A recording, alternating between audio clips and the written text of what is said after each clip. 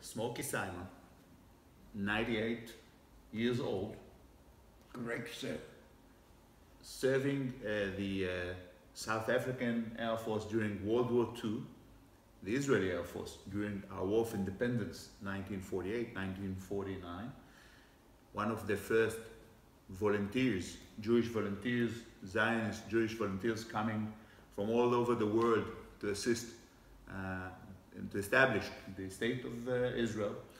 It's a great honor to meet you here, your house in Herzliya. What would you wish the Israeli Air Force uh, for the next years? You're a pioneer at the Israeli Air Force.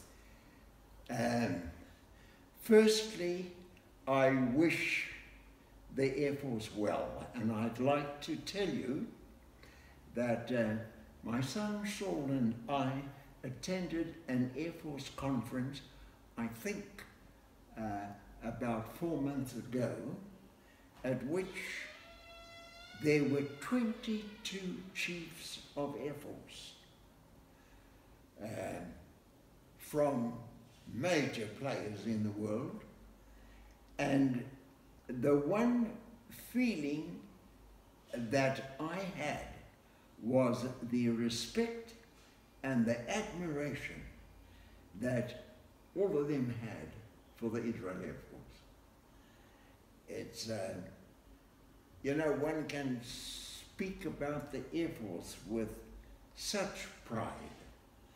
And, um, uh, and uh, I'm in the very happy situation that I had members of my family who kept up the Air Force tradition uh, with my two sons and one daughter. My other daughter was in Nahal.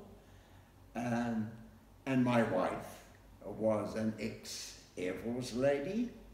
Uh, and so uh, I really feel that the Israel Air Force is, uh, is really part uh, of my DNA.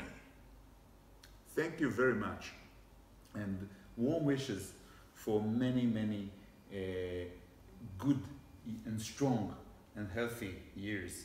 Smoky Simon. Thanks a lot, Avi. Thank you. I appreciate it and I enjoyed our talk.